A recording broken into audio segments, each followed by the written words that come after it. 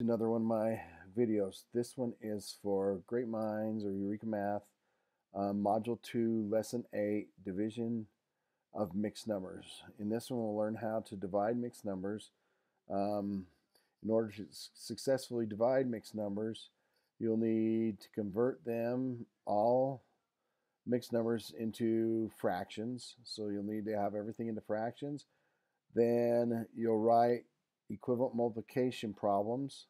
So we can multiply by the reciprocal.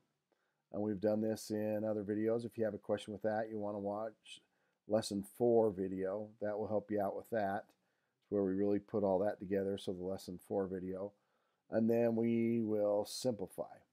So as we go through these um, that's the steps we're going to be doing. So let's go ahead and look at this okay we're just going to do a couple of problems today. Um, if you have any questions with division, like I said, go back and look at lesson four video.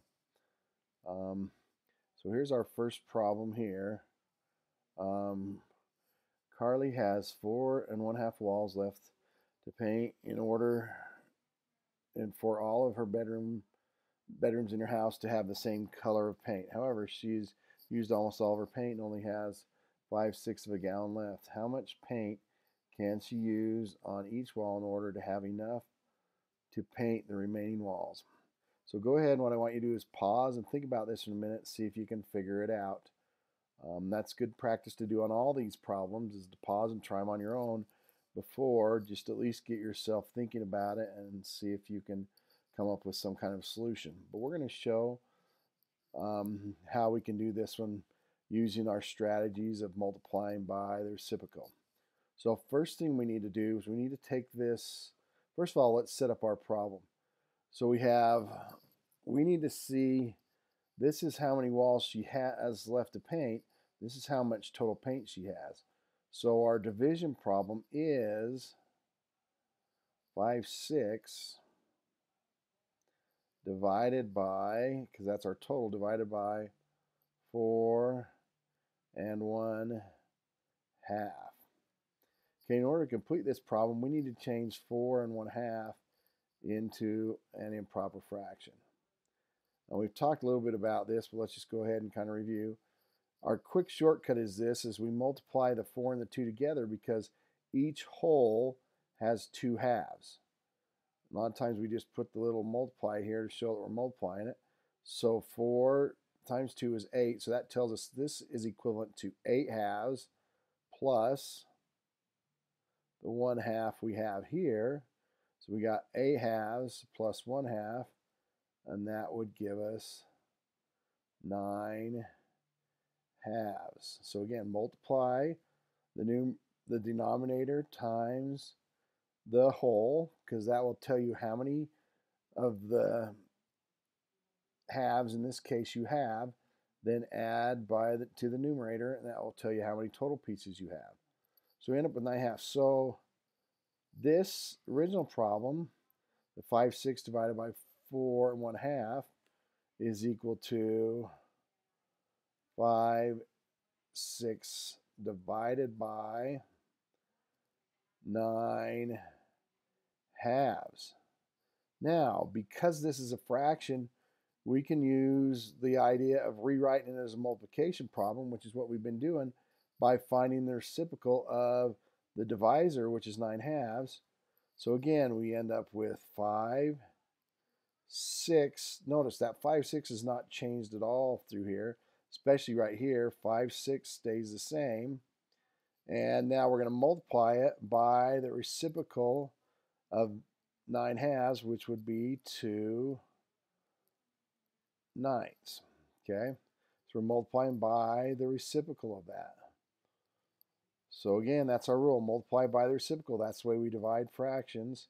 So we multiply by the reciprocal. We multiply straight across. So 5 times 2 is 10. And 6 times 9 is, I know 6 times 10 is 60. So 6 less than that would give me 54. Okay.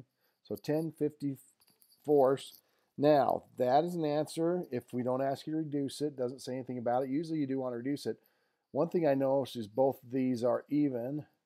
So we can go ahead and divide them both by 2. Divide them both by 2, and we will end up with 5.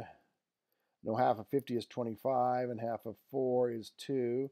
So add those together, 25 and 2 would give me 27. So 5 27s. And those, 5 is prime, and it won't go into 27, so that is simplified. So 1054s or 527s is our answers for that one. And again, if we can, we do want to take it down to simplified form as often as possible. Now, sometimes on these, if you end up with an improper fraction, if you start with mixed numbers, we usually want to write our answer as a mixed number if we have an improper fraction. So that's beware of it. If you start with with mixed numbers, your answer should be as a mixed number if you have an improper fraction. So let's go ahead and look at our next one here. Okay, the only other one we're going to do is example one on page 36. So go ahead and take a minute if you can and see if you can solve that on your own. Pause the video and see if you can do that. Okay, again, in order to do this, we need to change this to a um, improper fraction. So we're going to multiply 7 times 3, which will give us 21, plus the 4. So 21 plus 4 is 25. So that is in, as a improper fraction would be 25 sevenths. And our original one was 2 fifths divided by 25 sevenths. So again, we just rewrote our mixed number as an improper fraction. Now we can change it to write it as a multiplication problem. So we got 2 fifths times the reciprocal of 25 sevenths, which is 7 25 fifths. Okay, so we multiply those out. 2 times 7 is 14. Then we have 25 times 4. I know that, or 25 times 5, I know that 25 times 4 is 100. So we're just going to have 25 more. So that is just 125. Okay. Um, the only multiples of this is 5, and 5 won't go into 14. So that one will not simplify. So we can just leave it as that, 14 125ths. Now again, if you um, if you have an improper fraction, you're going to want to take it back to a mixed number because you um, started with a mixed number. So go ahead. Um, you can start the problem set with this. Um, we will have another activity we might do, but this is an example of how you can do. And then you can go ahead and work with the problem set, or there'll be some Khan videos we'll be working on with this too. Let me know if you have any questions. Have a good day. Bye.